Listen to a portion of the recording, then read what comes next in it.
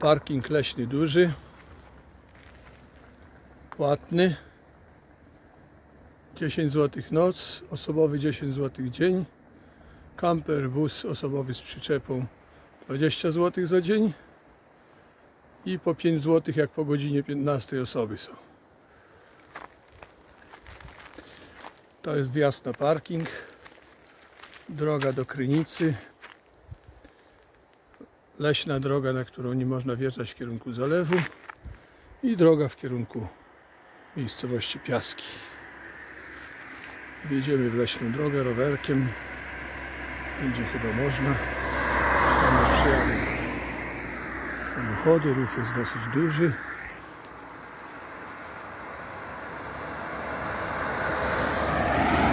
Jeszcze z lewej ktoś jedzie. Przejdziemy na drugą stronę. Droga w kierunku zalewu. Zobaczymy jak wygląda.